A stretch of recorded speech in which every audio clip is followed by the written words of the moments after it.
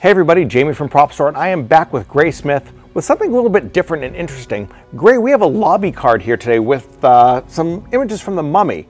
Tell me a little bit about what lobby cards were used for and why this one is so special. Lobbies were generally done in sets of eight to be used in the lobby of the theater. And generally around this time, there was a title card and seven scene cards. This is a great card from one of the true classics of Universal Horror, in which the paper is very scarce. And within the set, there were only two scene cards not counting the title card, which pictured Karloff in makeup.